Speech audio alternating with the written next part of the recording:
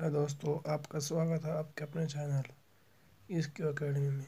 और दोस्तों, मैं आपके लिए लाया सर्वप्रथम खोजे और सूर्यमंडल भूगोल के लिए ज्योग्राफी का शब्द का सर्वप्रथम प्रयोग किसने किया? एरिस्टोस्थनीज ने भू आकृतिक विज्ञान का जनक किसे कहते हैं? पेसेल। गणित विज्ञान गणितीय भूगोल का प्रारंभ करता है।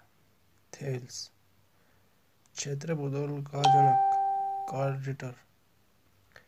मानव भूगोल का संस्थापक कार्ल रिटर। सौर प्रणाली की खोज कोपरनिकस ने की। ब्रह्मांड में विस्फोटित तारा कहा जाता है, अभिनव तारे को। पृथ्वी की बहन किस ग्रह को कहा जाता है? शुक्र को। शाम का तारा ग्रह किसको कहा जाता है? शुक्र। चाहे इसको चमकीला ग्रह भी कहते हैं।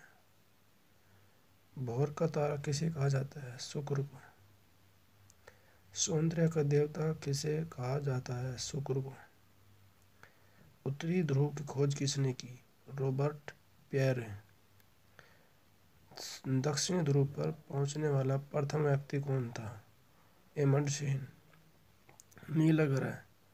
नीला ग्रह है पृथ्वी। डायमंड रिंग की घटना सूर्य ग्रहण के दिन होती है। पृथ्वी के निकट, सबसे निकट खगोलीय पिंड है चंद्रमा। भू कक्ष तल पर भू अक्ष का झुकाव है छियासठ से एक बटे दो। दक्षिणी गोलार्ध में सबसे लंबा दिन, बाईस दिसंबर। उत्तरी गोलार्ध में सबसे लंबा दिन होता है, इक्कीस जून। सबसे पहले पृथ्वी की परिधि को मापा एरिटो स्थनीज ने। पृथ्वी तथा सूर्य के मध्य सर्वाधिक दूरी को कहते हैं अपसोर। सूर्य की किरणें विषुवत रेखा पर सीधी पड़ती है। 21 मार्च और 23 सितंबर को। पृथ्वी तथा सूर्य के मध्य न्यूनतम दूरी को कहते हैं उपसोर। एक कैलेंडर वर्ष में अधिक से अधिक कितने ग्रहण हो सकते हैं? सात। प्लोटो के चाँद का नाम है चेरोन।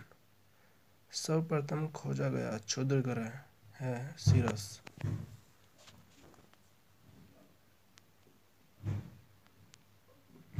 यूरेनस की खोज किसने की? हर्सेल ने। सौरमंडल का सबसे बड़ा उपग्रह गैनीमीड। शनि ग्रह का सबसे बड़ा उपग्रह है, टाइटन।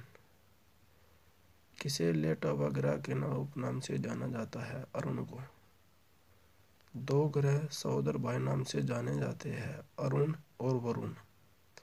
आकाश का सबसे चमकदार तारा है, सीरियस। कौन सा खगोलीय रात की रानी कहलाता है? कौन सा ग्रह खगोलीय पिंड रात की रानी कहलाता है? चंद्रमा। दोस्तों, चैनल को सब्सक्राइब करें, लाइक करें शेयर करें। बेल आइकन को बताए दोस्तों, धन्यवाद।